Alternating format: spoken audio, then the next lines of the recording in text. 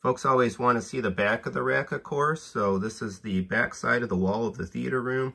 All those gold cables are monoprice, 100% pure copper speaker cable to all of the speakers in the theater. Got them all tied up nice and clean. There's the bottom, NAD M28, Mogami's World Best XLR cables hooking them up. I got the surrounds, actually, the side surrounds and the rear surrounds on the bottom amp. And then as we go higher, the next amp has the LCR and the Atmos speakers connected to it.